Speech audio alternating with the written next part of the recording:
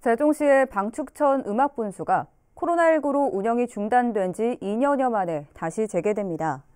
세종시는 LED 조명 보수와 시운전 등을 거쳐 다음 달 1일부터 방축천 음악분수 운영을 재개한다고 밝혔습니다.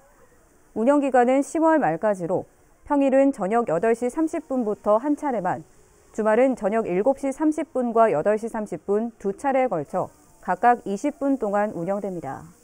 방축천 음악 분수는 화려한 조명과 함께 높이 30m의 고사 분수와 원형 분수 등 다양한 연출을 통해 시민들에게 다채로운 볼거리를 제공해 왔습니다.